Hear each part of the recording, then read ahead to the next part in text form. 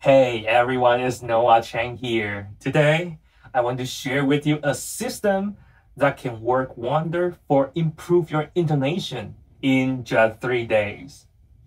Yes, you hear that right, three days. Can you imagine the progress you can make in such a short time?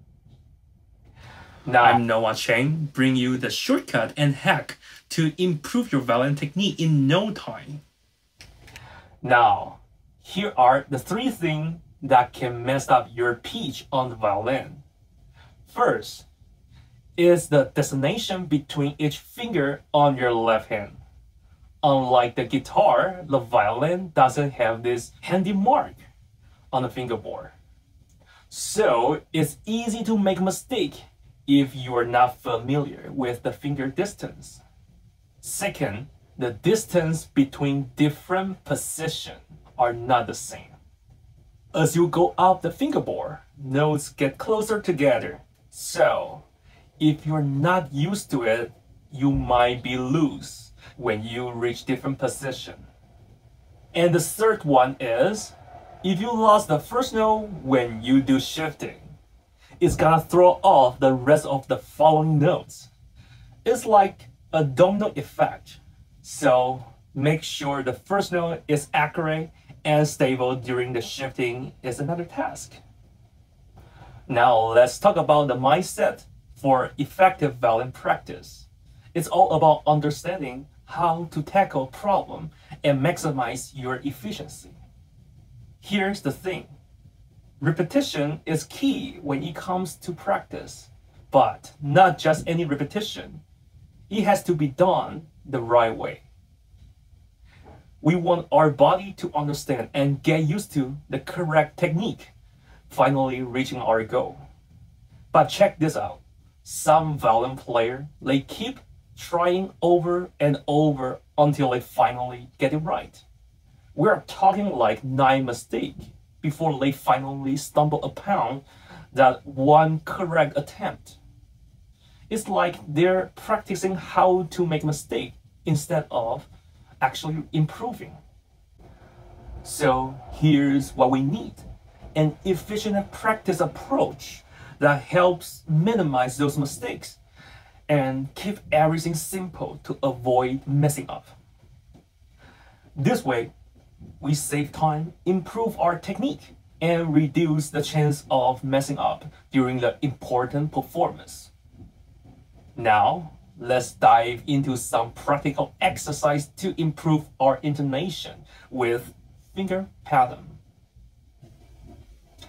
In the first measure, we have four notes that correspond to finger 1 to finger 4. Grab your tuner and check each note. Adjust your wrist and keep all your finger on the fingerboard in tune. It might take a bit of trial and error, but you'll get there. Hold this shape for a solid 7 minutes. You can even pause this video and do something else like watching other video to relax. But here's the catch. If your left hand fingers start moving and wandering, go back to the tuner and find the correct spot again we want them in the right place. After the seven minute exercise, you will feel your left hand settling into a certain shape. This shape will help you play in tune without spending time searching for the right spot. Alright, let's keep going. Hold the finger pattern and play the second to fifth measure with your metronome.